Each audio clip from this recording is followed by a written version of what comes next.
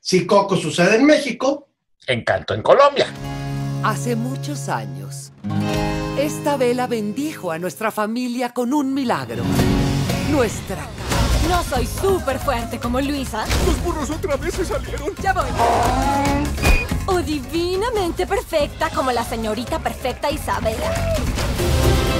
Los momentos más difíciles. Hay luz cuando menos esperas. Encanto es la película número 60 de los estudios Disney. Y ahora nos cuenta la historia de una familia que vive en Colombia y que tiene una cierta particularidad que la hace mágica. ¿Qué te pareció? Me encantó, se me hizo como una gran fiesta de color y de música. Es una película muy festiva, la canción de final van a querer salir bailando del cine y es un musical, siento yo, muy bien logrado. Eh, la música es de Limonel Miranda, eh, entonces este, ya se pueden imaginar si son fans de, de In the Heights, cómo es el tipo de música que se maneja en la historia.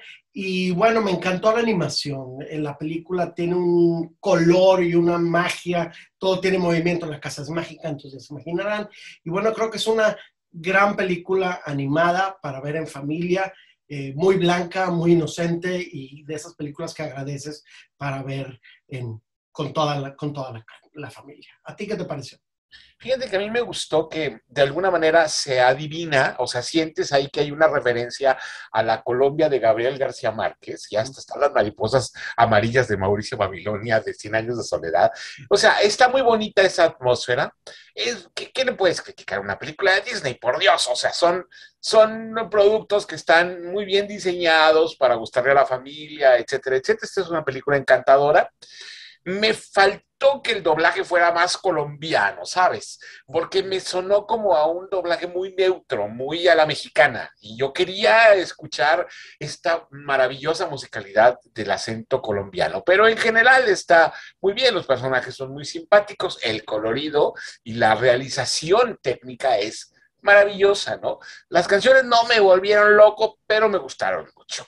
Y pues bueno, ahí anda hasta la voz de Maluma, lo cual agradece uno porque el cuate le encontró a su personaje un buen punto para, para hacer. Y dime, ¿la ves o no la ves?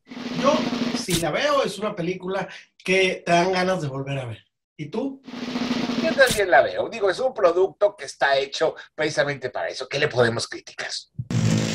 ¿Cómo le fue a otros sitios? Tenemos que Rotten Tomatoes tiene un 93% de críticas positivas y en Metacritic tiene un 75%. Encanto es una película que se exhibe en cines. Queremos estar en contacto con ustedes, síganos a través de nuestras redes sociales, estamos en Facebook y en Twitter, como la veo o no la veo o suscríbanse a este canal, que es el de Grupo Reforma, que hay un playlist que se llama La veo o no la veo, donde están todos nuestros programas. Sigan nuestras recomendaciones todos los días en las secciones Gente de los periódicos de Grupo Reforma o en la guía de streaming que publicamos en las aplicaciones digitales de Grupo Reforma.